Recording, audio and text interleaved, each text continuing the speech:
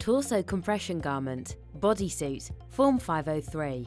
When performing measurements for the torso bodysuit compression garment, you will require the following tools.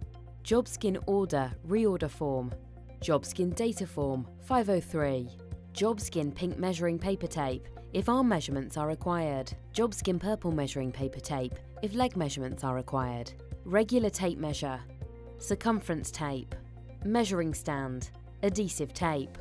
Use the Torso Compression Garment Form 503 as a guide when measuring body lengths and circumferences.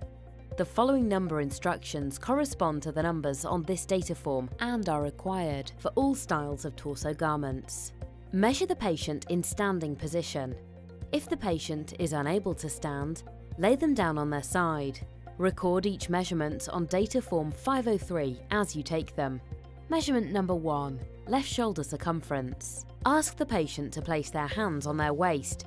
Using the regular tape measure, bring the tape under the axilla. Curve it around, finishing on the acromion process as demonstrated. Repeat the same process for measurement number 2, right shoulder circumference. Measurement number 3. Neck circumference is taken at the centre of the neck. Measurement number 4, shoulder width. Take this measurement from the base of the neck to the actual point on the shoulder. Measurement number 6. Chest circumference is taken at axilla level. This measurement is taken for both male and female patients.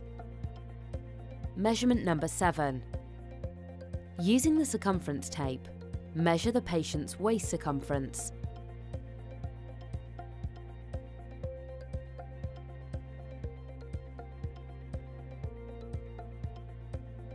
With each circumferential measurement, we suggest that you leave the circumference tape in place and proceed to measure the linear measurement that corresponds with it. All linear measurements are taken from the back of the patient. With a regular measuring tape, linear measurement number 5, shoulder to waist, is taken from the top of centre shoulder down to the bottom of the waist circumference tape as demonstrated. Move the circumference tape down to take measurement number 10, circumference of the largest part of the buttocks.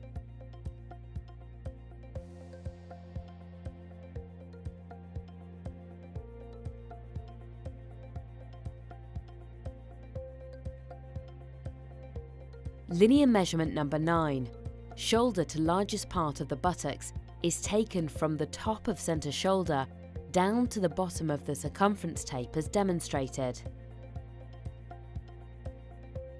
Linear measurement number 8, shoulder to fold of the buttocks.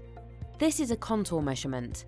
Start at the top of centre shoulder and measure down to midsection of the body as demonstrated, taking care to follow the contour of the body and continue down to the gluteal fold of the buttocks. Lift the buttocks if necessary and tuck the tape high into the fold as shown.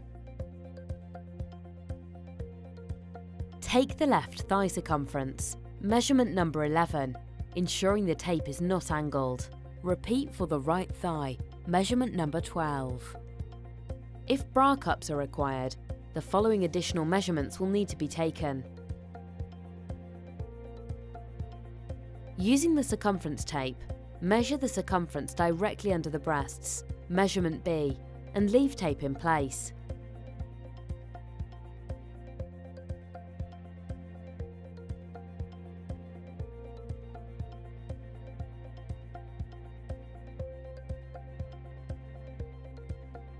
With a regular measuring tape, linear measurement A, shoulder to under the breasts is taken from the top of centre shoulder to bottom of the circumference tape already in place.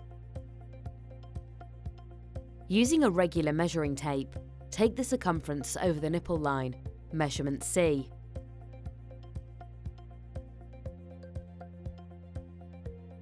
Record the patient's bra size on data form 503 if known.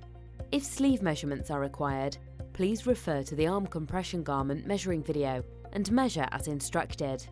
If leg measurements are required, please refer to the leg compression garment thigh length measuring video and measure as instructed. Ensure that all measurements have been recorded on JobSkin Data Form 503. We hope you have found the demonstration useful. If you require any additional information about measuring, modifications available, or completion of the data form to place your order, please contact our customer service team.